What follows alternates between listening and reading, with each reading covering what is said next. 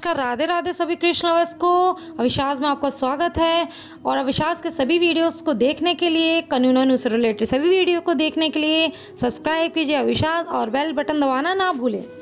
तो आज हम बनाएँगे मेरे कन्नू और नन्नू का बेड जो कि ये समथिंग बारह बाय आठ की ये है, जो ऊपर और नीचे आप फटी देख रहे हैं। ये मेरी बेटी की स्टडी टेबल थी तो उसकी चेयर थी जो न्यू में ही टूट गई थी। तो ये मैंने संभाल के रखे थे क्योंकि काफ़ी हैवी हैं ये। और ये मैं गोल डंडी कटवा करके लेके आई थी। Nine inches nine inches nine inches nine inches again nine inches so मैंने इसको कीलों से ठोक दिया है अच्छे से यहाँ पर। अब मैं इसका ऐसा बेड बनाने वाली हूँ जिसमें मच्छरदानी इस तरीके से, इस तरीके से पर्दे लगे होते हैं। तो ये मैं लेके आई हूँ फॉर्म और ये लेस है इसके इधर लगाने के लिए। आप देख सकते हैं, इधर मैं लपेट दूँगी। तो ये मेरी फेवरेट है। ये मैं सोच रही हूँ, पर्दे जो लगाऊँ, उसके साइड्स में लगा दूँ। और ये मैं इस तरीके से ऊपर, ये मैंने, देखो, स्वास्तिक वाली लेस ली हुई है, बड़ी प्यारी लगती है मुझे। तो मैंने इस तरीके से ली हुई है। एक और ग्रीन लेस है, ये।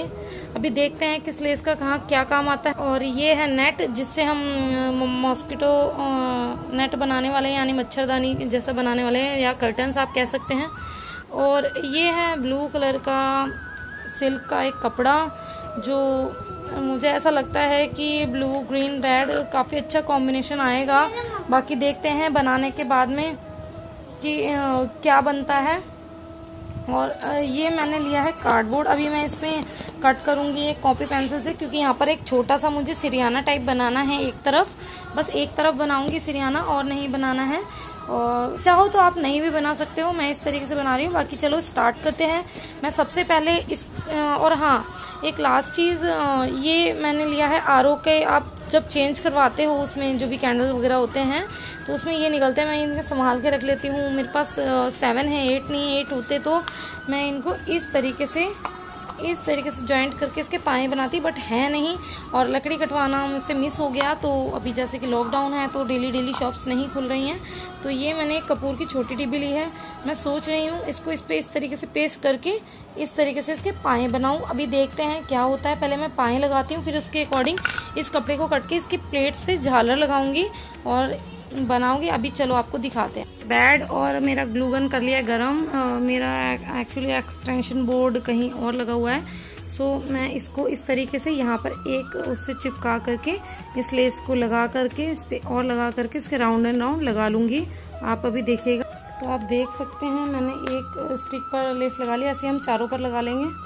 आप देख सकते हैं मैं इस तरीके से ग्लू गन से ग्लू लगा के इसको इस तरीके से लपेटती जा रही हूँ। ठीक है आप भी ऐसे कर सकते हैं।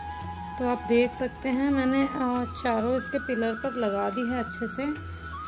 और लेसेस आप देख सकते हैं मैंने इस तरीके से इसके पीछे ग्लू लगा लिया और अब मैं इस पर इस तरीके से पेस्ट कर दूँगी। आप देख रहे हैं पाए जैसे बनते जा रहे हैं। देखो कितना सुंदर क्योंकि मुझे थोड़ा ऊँचा सा रखना है ना तभी फ्लेयर फ्लेयर्स लग पाएँगे। आप भी ऐसे कर सकते हैं। तो आप देख सकते हैं मैंने पाए कर दिए फिक्स जैसे ही सूख जाते हैं तो हम इन्हें इस तरीके से आ, देख लीजिए बेड हो गया ऊँचा और खड़ा हो गया, आराम से पायों पर और काफ़ी सुंदर लग रहा है।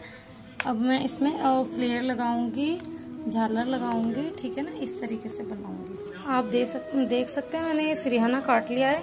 यहाँ पर इस तरीके से तो मैंने ग्लू लगा लिया। मैं इस पर फोम चिपका दूँगी। मैंने ये फोम इस पर चिपका दिया है।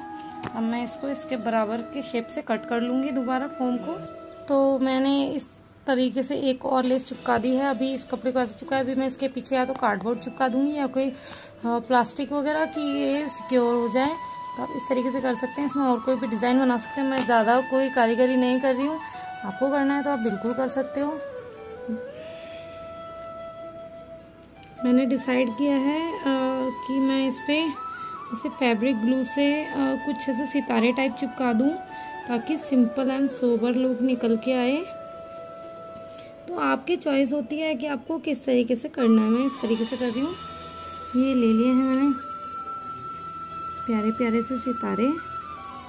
जो मैं यहाँ पे पेस्ट कर रही हूँ। अगर आपको पेस्ट करने के बाद ग्लू दिख रहा है तो टेंशन ना लें, क्योंकि सूख जाता है और ड्राई हो जाएगा तो बहुत सुंदर लगेगा। जब तक मैं बाकी प्लेट्स वगैरह का काम फिनिश करूँगी तो ये हो जाएगा। तो आप देख सकते हैं आई थिंक सिरियाना पूरा हो गया सिंपल एंड सोबर तो आप देख सकते हैं, मैंने इसका बैक पे भी लगा दिया है। बस अभी क्या रहता है, ये ये झल्लस रह रही है और यहाँ पर पर्दे लगाने रह रहे हैं, देखो। ऑलमोस्ट मेरे बाबू का बेड डन है और एक बार थोड़े से पीछे मुझे एक पैच लगाना है, ताकि ये जो ख़राब कपड़ा है दिखे नहीं, ठीक है? इस तरीके से हम इस तरीके से प्लेट्स लगा लेंगे। इस तरीके से मैंने ये एक प्लेट्स डाल के, इसके चार इंची डिस्टेंस था फ्लोर से लेकर यहाँ बेड तक। तो चार इंची का मैंने चौड़ी पट्टी काटी है और इसके अकॉर्डिंग लंबी आप अंदाजे से ले लीजिए। और फिर मैंने एक लेस ये, और एक लेस ये लगा दी मैं इसके चारों तरफ़ इससे कवर कर दूँगी। फिर ऊपर कर्टन लगाना सिखाऊँगी बाद में आपको।